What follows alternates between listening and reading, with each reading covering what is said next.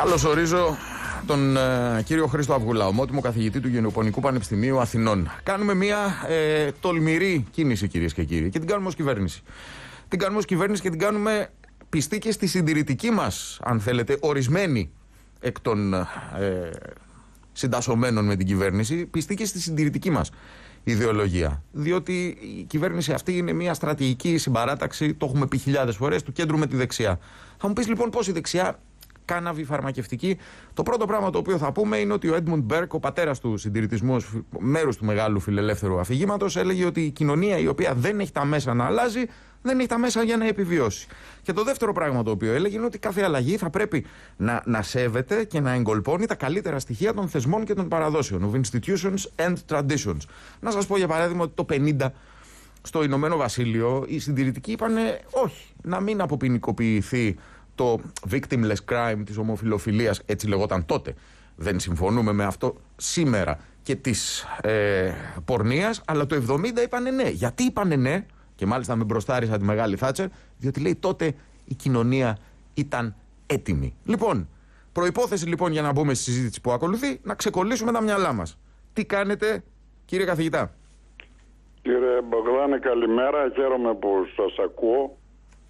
Ε, πιστός ε, τηλεθεατή σα και στο Sky. Καλοσύνη σα και ε, χαρά στο κουράγιο σας. Και ε, χαιρετίζω και τους ακροατές σας. Λοιπόν, φαρμακευτική κάναβη, κύριε καθηγητά.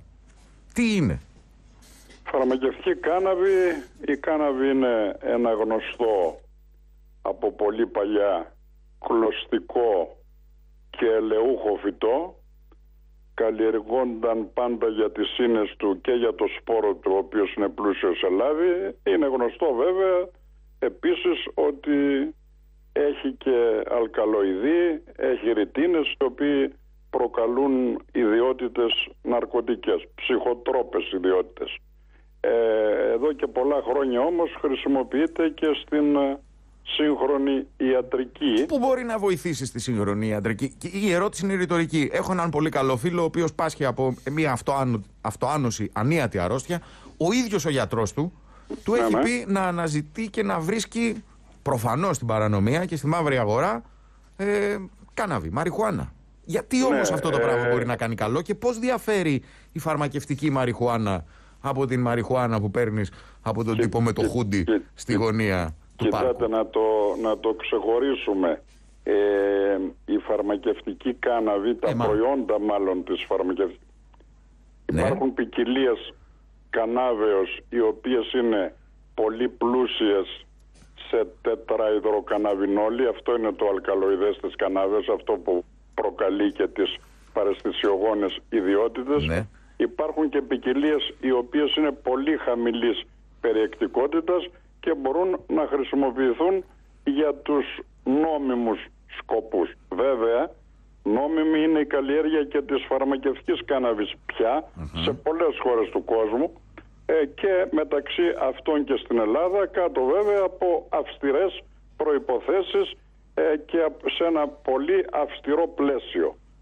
Σήμερα, σήμερα που μιλούμε, ε, καλά στην Ελλάδα κάνουμε τα πρώτα βήματα όσον αφορά την καλλιέργεια της φαρμακευτικής κάναβης. Υπάρχει όμως η καλλιέργεια και της βιομηχανικής κάναβης η οποία ε, καλλιεργείται κυρίως ε, για την καναβιδιόλη αυτό που είναι γνωστό σε όλους ως CBD mm έλαιο το οποίο δεν έχει ψυχοτρόπες ιδιότητες δεν είναι παραστασιογόνο ε, και χρησιμοποιείται ε, για τόνωση του οργανισμού σε συμπληρώματα διατροφής κτλ.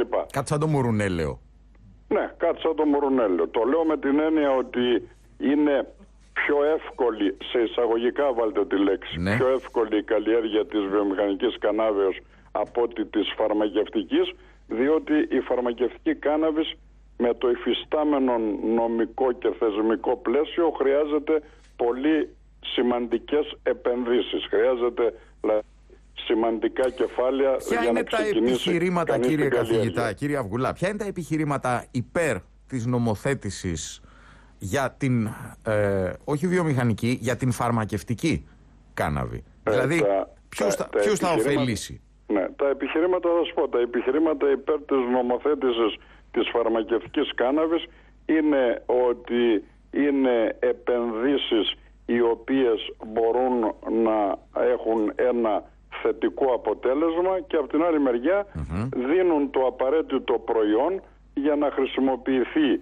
αυτό το απαραίτητο πρωτογενές προϊόν σε διάφορα φαρμακευτικά παρασκευάσματα τα οποία αποδεδειγμένα βοηθούν τον ασθενή σε συγκεκριμένες περιπτώσεις όπως είναι παραδείγματος χάρη η σκλήρινση κατά πλάκας όπως είναι η, η, η, πώς, πώς βοηθάει τον ασθενή στη σκλήρινση κατά πλάκας Πώς βοηθάει τον ασθενή στην σκλήρινση κατά πλάκας; Βοηθάει τον ασθενή στη σκλήρινση ε, κατά πλάκας διότι καθυστερεί την ε, εξέλιξη της νόσου. Επίσης βοηθάει σε άλλες περιπτώσεις όπως είναι παραδείγματος χάρη οι αϊπνιες ή η αντιμετώπιση αποτελεσμάτων τα οποία δεν αντέχει ο ασθενής όταν κάνει χημειοθεραπείες.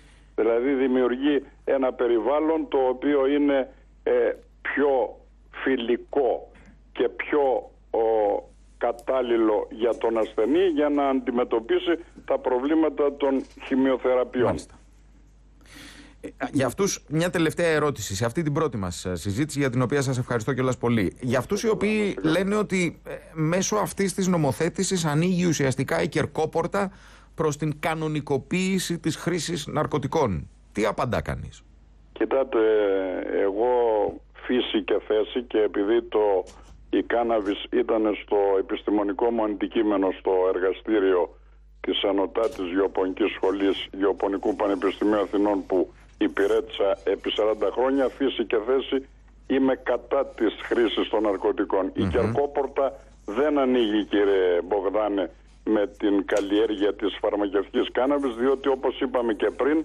η καλλιέργεια διεξάγεται κάτω από ένα πάρα πολύ αυστηρό νομοθετικό και θεσμικό πλαίσιο από το οποίο δεν μπορεί να ξεφύγει κανένας. Και έτσι μπορεί ε, άνετα και σίγουρα τα προϊόντα της καλλιέργειας της φαρμακευτικής κάναβης, ουσιαστικά δηλαδή η τετραϊδροκαναβινόλη, αυτό που διεθνώς ναι, ναι. είναι γνωστός THC, αυτό. Ε, ε, είναι σίγουρο ότι θα χρησιμοποιηθεί μόνο για φαρμακευτικούς σκοπούς το επιβάλλει και το εξασφαλίζει το θεσμικό πλαίσιο. Κύριε καθηγητά, σας ευχαριστώ θερμά για αυτή την πρώτη μας συζήτηση. Να είστε καλά, καλή ε, μέρα, καλό επίσης, μεσημέρι και καλή εβδομάδα. Να είστε καλά, καλή δύναμη και καλές εκπομπές που είμαι σίγουρος ότι κάνετε πάντα. Καλοσύνη σας και χίλια ευχαριστώ. Εκ μέρους του Δημήτρη Κύρκου, του Βασίλη Κρυμπά και εμού, καθώς επίσης και της Δάφνης Καφέτσι και της Ελένης Τάγκα. Να είστε καλά όλοι και χαίρομαι και να σας ακούω και να σας βλέπω. Να είστε καλά.